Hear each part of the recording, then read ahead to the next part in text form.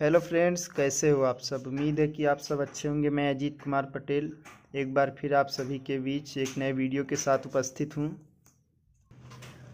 आज का हमारा वीडियो कह रहा है कंजक्शन, जिसमें हम फ़र्स्ट टॉपिक लेकर आए कह रहा है यूज़ ऑफ़ एच सुन है, जैसे ही या वैसे ही। नोट में देखें, कह रहा इसमें दोनों वाक्य हमेशा पास्ट टेंस में होंगे।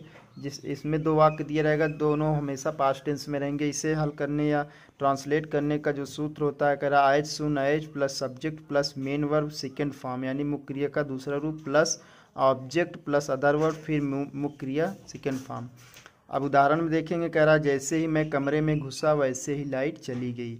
अब as soon as I entered into the room entered E D जुड़ेगा second form entered the room the light went off, यानी विद्युत चली गई।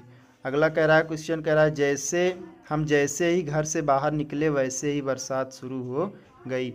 As soon as we stepped out of the home it started raining अगला कह रहा तुम school में पहुँचे ही थे कि घंटी बज गई। As soon as you reached school the bell rang, ring का सेकंड फॉर्म रैंग होगा।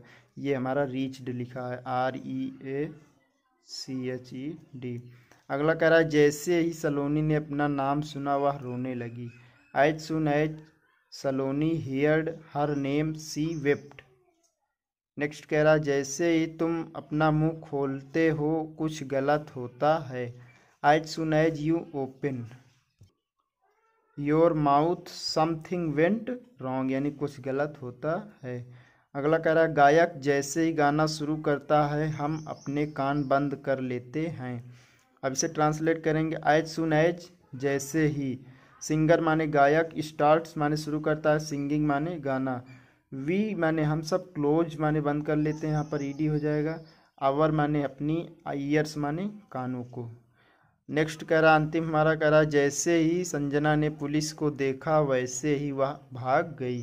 As soon as Sanjana saw police she ran away तो फ्रेंड्स, आज का वीडियो यहीं तक। उम्मीद है कि आपको ये कंजेक्शन का पार्ट पसंद आएगा।